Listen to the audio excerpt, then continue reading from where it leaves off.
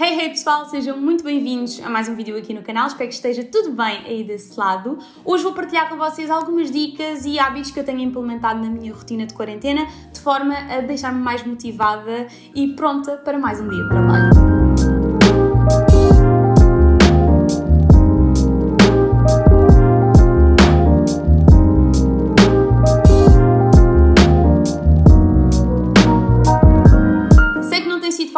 Muitos de nós, principalmente pessoal que trabalha no meio mais criativo, conseguir motivar-se e ter aqui algumas ferramentas para nos ajudar a ter o nosso nível de produtividade e de motivação para fazer as coisas. E por isso eu tenho aplicado aqui pequeninas coisas e pequeninos padrões que eu também tenho vindo a seguir de forma a conseguir cumprir os meus objetivos semanais e queria passar-vos também esses inputs porque acho que é muito importante e eu própria já procurei este tipo de conteúdos uh, porque tem sido realmente por vezes complicado uh, gerir não só o trabalho profissional como o pessoal e ainda tudo aquilo que está em nosso redor. Tem sido baseado em pequeninas coisas que eu tenho vindo a alterar na minha rotina e espero que também melhore a vossa de alguma forma. Por isso, sem mais demoras, vamos então começar. Uma das coisas que realmente me tem ajudado muito é concluir pequenas tarefas logo de manhã e tentar fazer uma tarefa no espaço de 20, 30 minutos logo quando acordo. Portanto, seja fazer a cama, seja organizar algum espaço da casa ou até mesmo fazer simplesmente o pequeno almoço, eu acho que dá um boost exatamente para nós começarmos a arriscar algumas coisas da nossa checklist diária. Eu gosto de ir monitorizando tudo aquilo que vou fazendo durante o dia e isso está incluído noutra dica que eu vos vou dar a seguir, mas essa primeira tarefa concluída nas primeiras horas que eu acordo, ou nos primeiros minutos que eu acordo, realmente ajuda-me a ter mais motivação para continuar. Segundo ponto super importante, e eu sei que algumas pessoas gostam de fazer à noite, mas eu pessoalmente na quarentena não há hipótese, pessoal. Eu gosto mesmo de tomar banho de manhã porque me acorda, me desperta e ajuda-me também a criar motivação para me arranjar, tal como se fosse todos os dias para o escritório. Eu hoje, por exemplo, estou aqui porque precisei de vir tratar de coisas da marca que não consigo tratar em casa, mas muitas das vezes eu estou a trabalhar em home office como isto não acontece todos os dias, eu mesmo assim tento não perder a motivação e obviamente tomo o meu banho, mudo de roupa, que acho que é super importante manter essa rotina mesmo que não saia de casa e assim já me sinto preparada, porque quando estou de pijama, eu sou sincera, eu não consigo funcionar a 100%, fico sempre com a sensação de que estou numa altura de relaxar e não de trabalhar, e por isso eu faço sempre questão de mudar a minha roupa e não tentar cobrir-me com muitas mantas e muita coisa à minha volta, porque isso realmente dá-me sono e acaba por puxar mais pela minha preguiça. O terceiro ponto eu já tinha dado aqui uns pozinhos, mas é fazer uma to-do list diária. E uma coisa que eu gosto sempre de fazer e que sinto que me ajuda também a preparar para o dia seguinte é fazê-la durante a noite ou então fazer logo de manhã cedinho, quando estou a beber o meu café ou tomar um pequeno almoço. Não só é bom para nós organizarmos as nossas ideias, como também visualmente é muito importante para o nosso cérebro perceber efetivamente que vai concluindo tarefas e acaba por ser uma satisfação, uma realização pessoal também. Muitas das vezes eu até faço isso, por exemplo, quando preciso fazer limpezas em casa ou arrumar algum espaço em específico, eu organizo mesmo tudo em lista e conforme vou concluindo vou fazendo os meus certinhos e é realmente fantástico o quão motivados vocês ficam em conseguir concluir todas as tarefas do vosso dia e dá-vos um senso de propósito e de realização muito bom e há muita gente a fazer isto durante o dia e que faz realmente toda a diferença. Inclusive eu tenho aqui a minha planner que foi uma coisa que eu comprei e que eu adoro ajuda-me realmente a organizar muito bem. Eu normalmente faço tudo através do Google Calendar, no entanto, tudo o que é tudo list eu gosto de ter em papel, lá está mais uma vez para visualizar, para escrever, eu sinto que sou muito mais visual. E portanto assim consigo organizar todo o meu dia, colocar então todas as coisinhas a que me proponho a fazer, se não cumprir ponho um X, mesmo para saber que tenho que passar isso para o dia seguinte,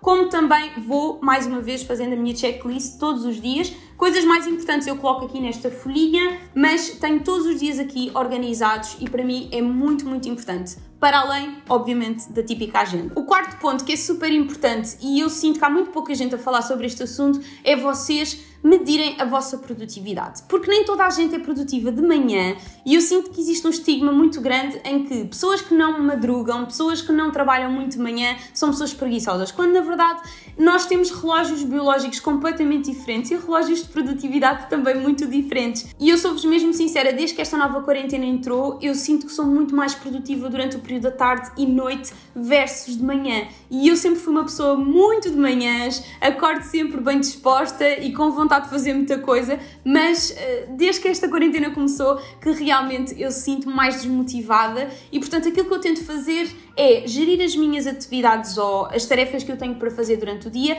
e as coisas mais leves e mais simples de concluir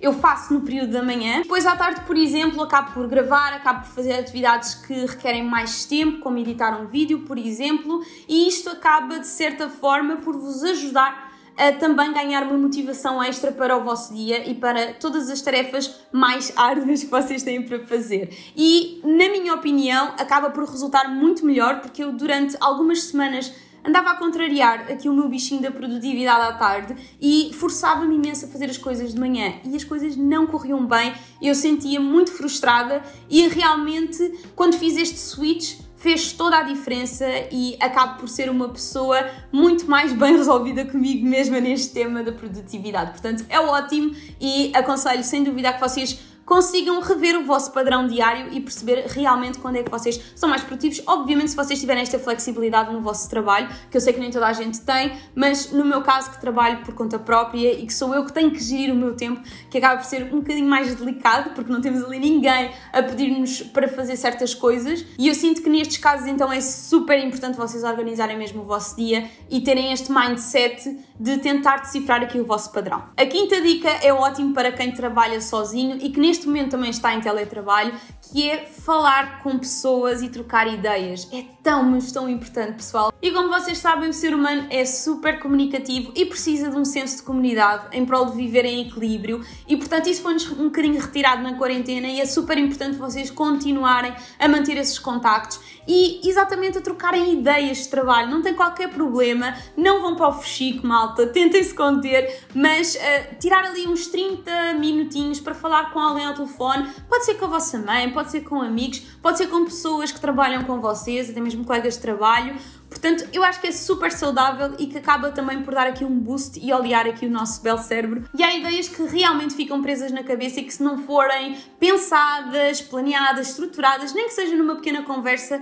podem ficar no papel. Portanto, eu acho que é muito, muito importante nós continuarmos a ter este exercício de trocar ideias e falarmos sobre o nosso trabalho e sobre aquilo que gostaríamos de fazer. E a minha última dica, que também tem sido crucial para eu também retirar aqui alguns macaquinhos da minha cabeça, é vocês não serem demasiado demasiado duros com vocês. Se há um dia em que vocês não se estão a sentir tão motivados, que não vos está a apetecer de certa forma, ter o nível ou o índice de produtividade que vocês gostariam de ter, porque eu sei que muita gente, obviamente, não pode simplesmente tirar o dia e esquecer o trabalho. É um bocadinho aquela ideia que eu já vos tinha dito há bocado de vocês fazerem pequenas atividades de forma a que vocês sintam o propósito e a conclusão de cada uma delas, versus vocês uh, estarem um bocadinho inundados em várias coisas grandes que têm para fazer. Portanto, se naquele dia vocês sentem que têm uma tarefa mais densa para concretizar, tentem esmiuçar um bocadinho essa ideia, tentem também beber o vosso cafezinho, fazer uma pausazinha maior nesse dia, porque é super importante vocês também sentirem que existe algum equilíbrio emocional na vossa vida. É super importante para que vocês se sintam bem e plenos, por isso,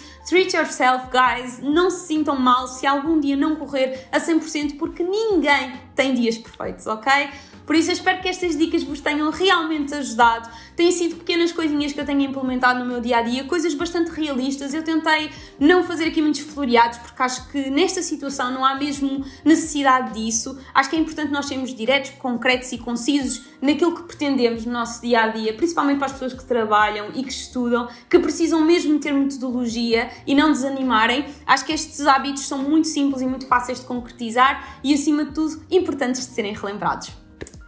E por hoje é tudo. Mais uma vez espero que vocês tenham gostado deste vídeo, que tenham um dia super iluminado. Fiquem em casa, um grande, grande beijinho, em segurança também, e vemo-nos no próximo vídeo. Tchau!